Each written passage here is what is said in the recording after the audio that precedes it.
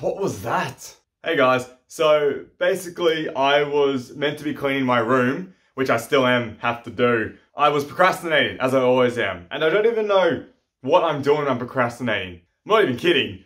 Five minutes ago, I was dancing to BTS because I didn't want to clean my room. So life is... I don't know what it is about procrastinating, but no matter how simple or hard the task is, you just don't want to do it, like at all. And I was thinking to myself, what would I rather be doing right now than cleaning my room?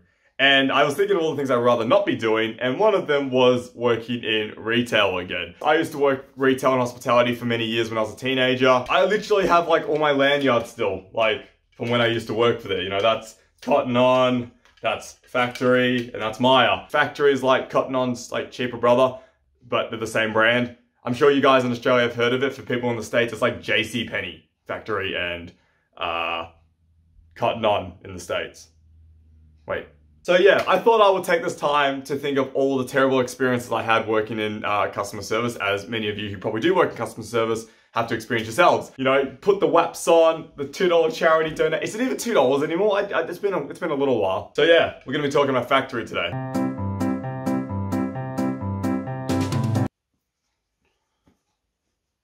Hello. Oh, hey, hi, hi. What, what can I do for you? Just wondering if I can uh, try these ones on, thanks. Oh yeah, no worries. You're gonna try those eight different outfits on that you're gonna leave for me in the change room after.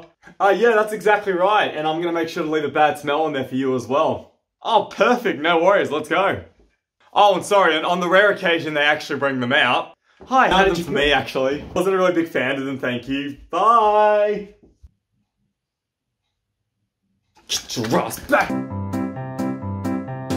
Oh, did you need another size for that one? Excuse me? What, what, do you, what do you mean do I need another size for that one? I can fit that one perfectly fine. Thank you very much. No, no, you told me you needed another size before. Uh, uh no, no, mm, hun, I want to speak to your manager, please, thank you. Oh yeah, let me just grab them for you. Give me one second.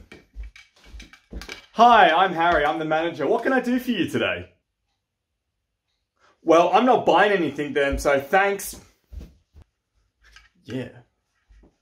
Bitch. There's actually one more thing I want to tell you about, guys. I once did a shift in Cotton On Body. And for those who don't know what Cotton On Body is, it's basically like Cotton On, but only catered to women's apparel. But basically, all they sold was like bras, underwears, and activewear. So, when someone asked me a question like, Hi, just got a bit of a question. Um, what size do you reckon goes better with this? Um, I think that size fits perfect. Looks great. Looks great.